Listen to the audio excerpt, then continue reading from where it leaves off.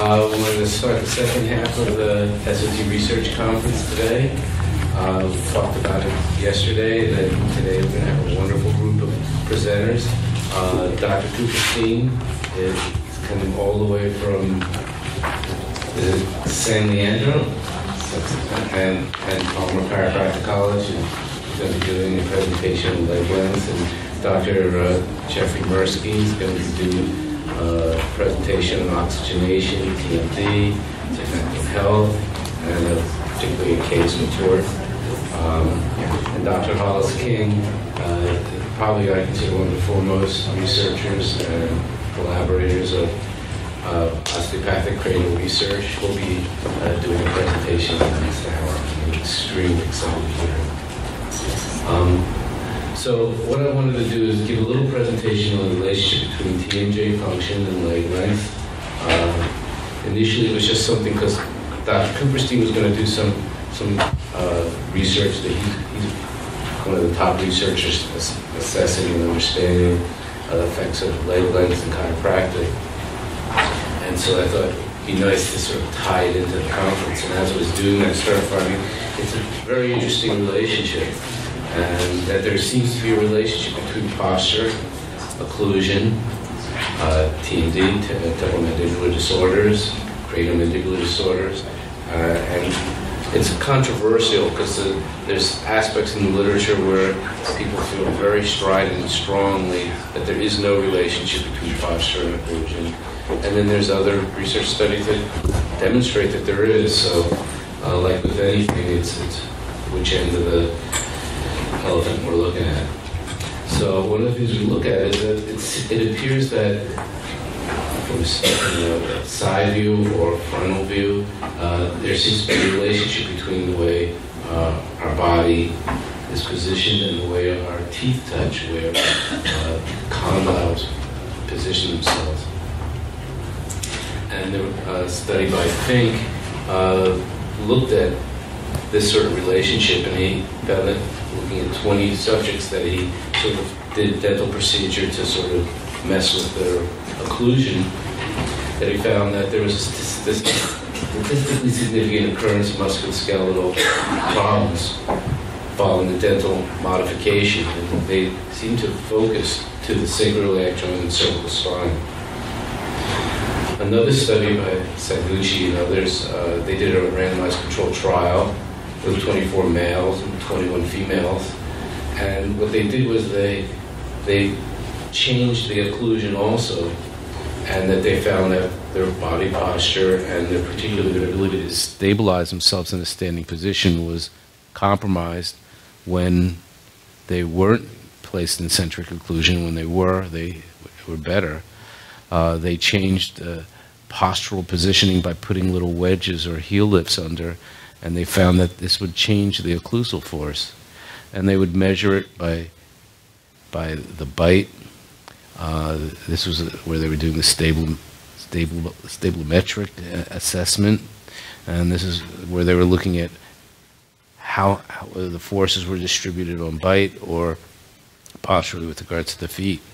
A follow-up study by Maeda in 2011 with uh, also did a randomized controlled trial, a small group, uh, but they found that whichever side they put a heel lift on, the patient would bite more strongly on that side, so occlusal forces would shift to the side of wherever had the heel lift.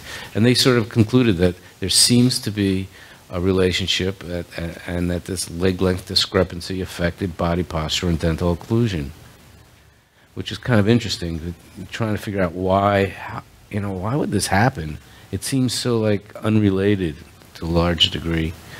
And one of the things that sort of gave me a window into that, I, I remember reading an article by Mark Morningstar, and if you get a chance, it's a free download, full text, wonderful article. Um, and he was looking at the reflex control of the spine and posture and focusing on the visual vestibular and plantar reflexes and how they work and that essentially our eyes and ears are wired neurologically to stay level to the horizon through cerebellar reflexes, and that when the cervical spine's not in balance, So if there's something going on in the, in the cervical spine, the pelvis will change to keep the eyes and ears level. And if there's something going on in the lumbosacral spine, the, the cervical spine will modify.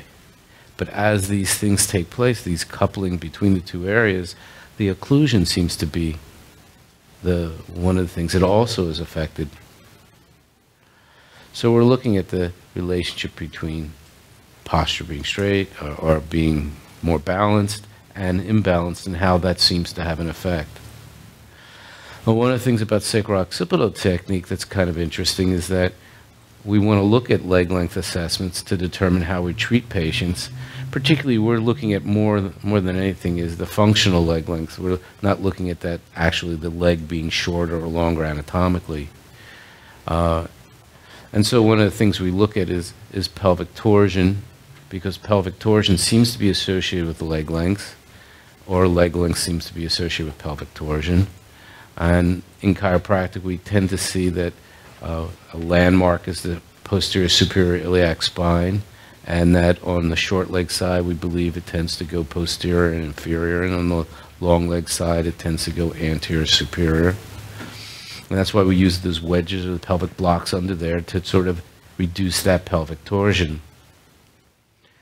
And one of the things we look at as we're, before we place the blocks is we want to do what we can to sort of reduce any stressors to that, the, that may be affecting leg length, such as uh, tensions, piriformis muscle tensions that are affecting the greater or lesser trochanter. And then we do specific leg length assessments that we feel may have some relationship in the different categories. In category one, we believe there may be some Achilles tension uh, that's associated with the on the short leg or possibly even the long leg side, and atlas relationships that can sometimes influence that leg length. Uh, in category two, we we do a specific procedure trying to take out any abductor or adductor re related tensions before assessing leg length. In category three, we're looking at a patient with severe discal issues, which sometimes cause hamstring tensioning um, and sciatica. So we we apply traction on the legs long enough to try to reduce any hamstring tension. Um, with SOT, we also have specific methods with each category so that after we place the blocks under the patient's pelvis, we then go back and assess. Um, and one of the things we're looking at is do the leg lengths equalize? Is the Achilles tendon or Achilles tension balanced more? Is there any asymmetrical gluteal or sacrospinalis tension? Is that balancing or changing or modifying? Category two, we look at things such as the arm fossa test, medial lateral knee, and inguinal ligament sensitivity, uh, and even you know, unilateral scalenus muscle tension, which will all change as the patient's on the blocks. So if they're getting worse, that would tell us maybe this patient does not have a functional leg length difference. Maybe it's anatomical. Maybe there's something else going on. And same thing with category three, as we place the blocks and try to find uh, a balance in, in reducing that pelvic torsion, we should find that sciatica, any sort of tension with regards to the in the gluteal area, mid calf, will diminish during blocking. So the patient's response to SOT Block treatment helps determine if the leg length assessment is correct, if unequal leg lengths influence appear to be ascending the, the kinematic chain. And when the patient's response to care is not as anticipated, is not what we considered that we would expect, uh, then we need to really go back and check, did we put the blocks in properly? Did we do the proper leg length assessment? If the leg lengths are equal, it would cause a problem to put torsion in that pelvis or is there an anatomical leg length issue that needs to be assessed? And that becomes part of our diagnostic you know, criteria.